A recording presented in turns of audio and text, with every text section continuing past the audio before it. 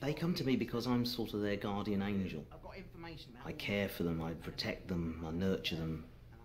If they want to be taken seriously, then it's my duty to help. I'll make them a show reel. All right, chaps, we get it together now. I just hope I can keep the cost down because it is a total waste of money and I don't mind giving them false hope, but not at my expense. Action.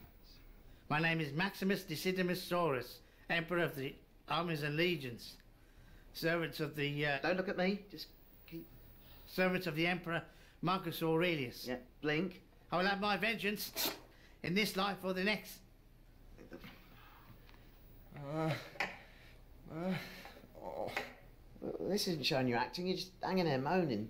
Think of something to say. This is bloody horrible. Uh, this is not a good Friday. Yeah, brilliant. Costing me five grand, this is. Okay, Brokeback Mountain, take one. Oh, yeah. I love you. Oh, don't tell me wife. Ah, don't disturb the horses. Yeah.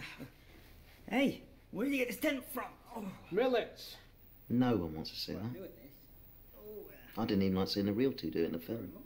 And they were lookers. Look at that. I'm gay. Oh, me too. Aye, definitely gay. This is bloody horrible. You're making a big mistake. You should not have crucified me. I mean, I ask you, would you use him? If I ever wrote The Passion of the Dwarf, maybe. You think that's inappropriate? Look at this. I like men who give me pleasure, and he gave me a lot of pleasure. You ever fucked on cocaine? Whoa!